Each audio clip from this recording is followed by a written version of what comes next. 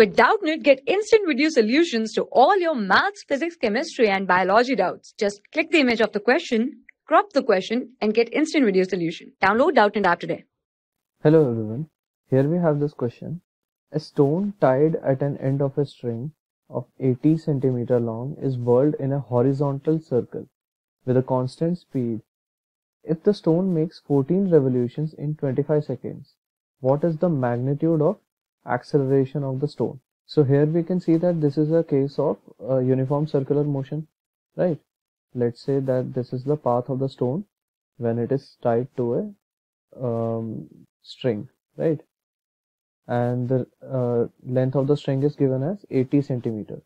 This means the radius will be equal to 80 centimeter, right? Therefore, in SI units, R will be equal to 0.8 meters okay. This is the radius given. Um, we are given 14 revolution in 25 seconds. So from here we can calculate the frequency and using that we can calculate the angular velocity. That will that is equal to 2 pi nu right? Um, and from angular velocity we will have the acceleration. Okay. So that means the acceleration is given by r omega square right let's say this is equation 1 this is equation 2 now here the stone takes 25 seconds to complete 14 revolutions right? 25 seconds for 14 revolutions. Okay. Um, so in one second how many revolutions it will take? 14 by 25 right. So 14 by 25 will be the frequency nu frequency that will equal to 14 by 25 second inverse. Therefore, angular velocity omega that will be equal to omega is equal to 2 pi uh, multiplied by nu is 14 by 25 right? 14 by 25